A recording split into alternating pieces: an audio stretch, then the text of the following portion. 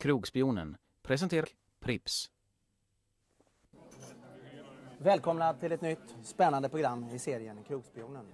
Krogspionen som denna veckan fick ett brev. Inte bara ett brev utan en mängd brev. Men det var så här att eh, valet föll på Gun Jansson. Önskade att vi skulle besöka restaurang Bell Avenue här i Göteborg. Och eh, ni tittare bör tänka till för att det kommer en tittarfråga sen lite grann i slutet på programmet här.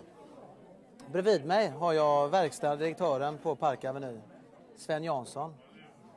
Tack för att jag fick komma hit. Ja, tack Gilbert. Vi, vi är så glada att du är här. Ja, ja, det känns naturligt. Känner er välkomna. Ja. Som ni ser så sitter vi där vid bords idag. Vi har valt att vända lite grann på, på tankesättet idag. Så att, eh, jag skulle gärna vilja att ni tittare får följa med lite grann vad som har hänt för mig under eh, eftermiddagen här på Park Belle Avenue. Så att eh, rulla bandet och över till Christer Svantesson i köket. Har nu tagit mig ner och in i Park Avenues magnifika kök och här står Christer Svantesson och arbetar med en liten rätt som han har en specialrätt som vi hittat på idag. Ank portofö. Jag har ju lite portofö-freak va. Ja. Så det blir ankportofö med hasselnötspanerad Vad är det du gör här? här? Ja men det är grönsakerna till, får ju vara snygga. Ja, ja, vad, vad kallar man det när man... Tonera. Tonera. Och anklever, har ni sett? ska man köpa i Göteborg, det visste ni inte.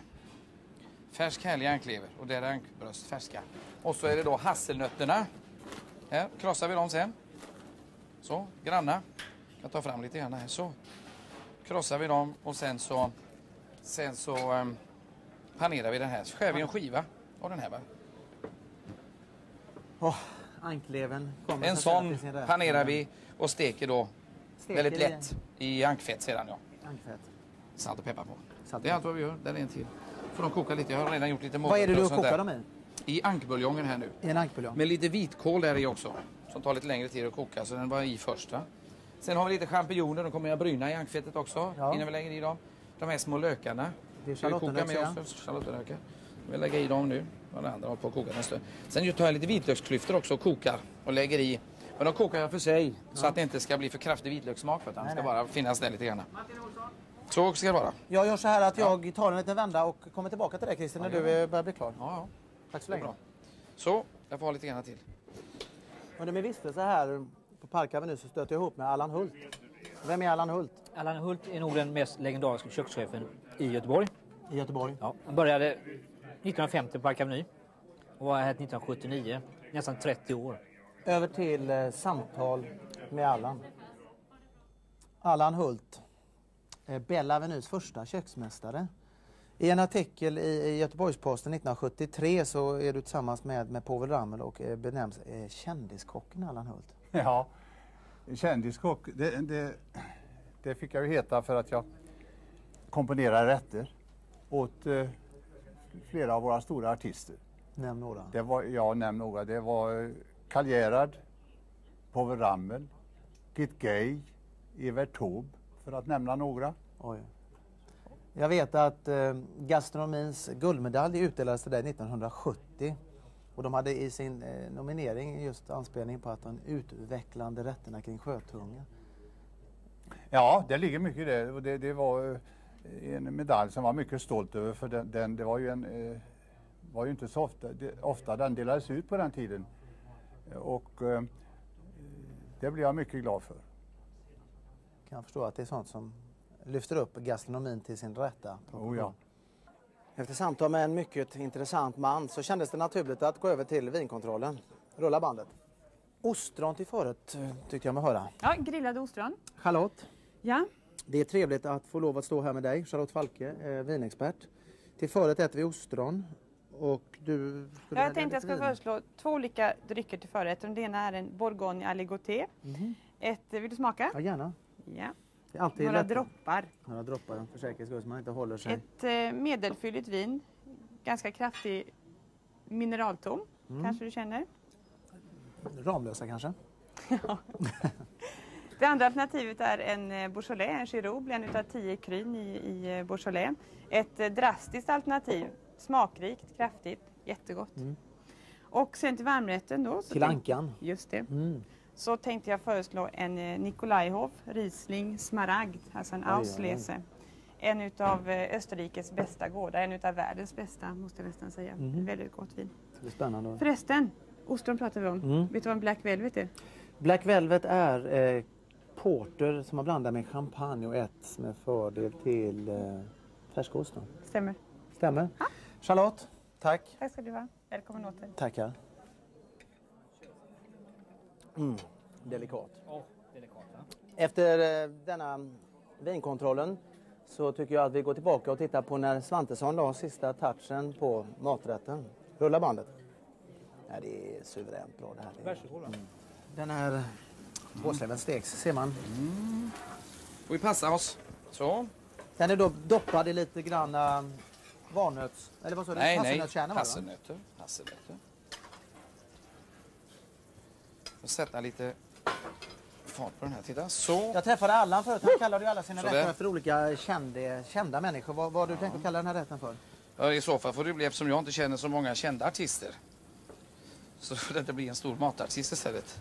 Den här är, kan få namnet av Pierre Troagros tycker jag, i Rouen, som har en fantastisk Pierre restaurang. Troagros är mannen som... Påsleven. Nej då, men det är, han har gjort många sådana här saker. Så Han är känd för portefeuille va? Eller Ja, inte jo, då, bland annat. Ja. Bland annat är han känd för portefeuille. Så här kommer det att se ut. Se. Ja, det ska verkligen det- bli spännande att få avnjuta den här rätten Vem är lite Mats? senare. Vem är Olsson? Vem är Olsson ja? Martin? Ja, vem Jaha. är det? Det är det man undrar. Jag vet inte om det är helheten eller mångfalden i rätten som gör att den är så upplevd som stor. Nej, jag skulle vilja säga exklusiviteten. Eh, Portefeuille à la Pierre Troagros. Ja, eller Christer Svantesson. Ja, det kan man också säga. Också säga. Är någonting som går? Ja, såväl i slott som i koja. Slott som i koja. Vi. Som vi säger på Park Avenue. Slottsherren i detta stora slott, eh, Park Avenue, Sven Jansson. Du har ju varit här från och till under många år. Historiskt sett. Hur kom Park till? Ja, det unika med Park Avenue är att, att eh, efter kriget, andra världskriget är vi då, eh, så byggde Göteborgs näringsliv hotellet. Och ägare var ju Volvo, SKF, Mölnlycke, Broström, Svenska Mekarlinjen, Transatlantic, you name it. Och 1950 invigdes hotellet. Och det första moderna hotellet i Sverige efter kriget. Med eget badrum till varje rum. badrum? Ja, visst. och heltäckande mattor från Belgien, Gilbert. Någonstans när du pratar om badrum så förstår man ju att en bar på ett sånt här hotell är en central samlingspunkt och många människor har samlats där. Och därför tycker jag det kändes naturligt att göra ett besök i baren.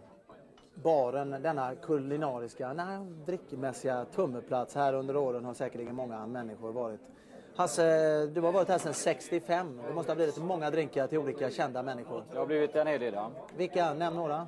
Ja, på Wramel, eh, Evert Taube, Lasse Dahlqvist. Några, no, några av eh, artister och sånt. Ja, som har varit här. Kit Gay. Mycket champagne, mycket drinkar. Om man ser så här, alla han berättade, han har gjort en mängd olika rätter komponerade just efter kändisarna. Han, han berättade, har du, vad dricker man här? Vad dricker Här dricker vi whisky. Här dricker vi rocks. whisky? Jajamensan. On the rocks? Precis. Ja, det är on the Vi tar en rocks. liten Ballantine här. On the rocks. Ja. Så lite vatten i den, Ja. Alltså vatten, häller man vatten i whiskyn? tycker jag man kan göra. Det förhöjer eh, både smak och aromen på den. On the rocks. Svantesson. Ja, Jag saknar ord. Jag saknar ord. Det bästa var nog Gilbert ankleven. Ankleven. Och den äter vi med silversked på Park. Precis som man gjorde i mitt barndomshem.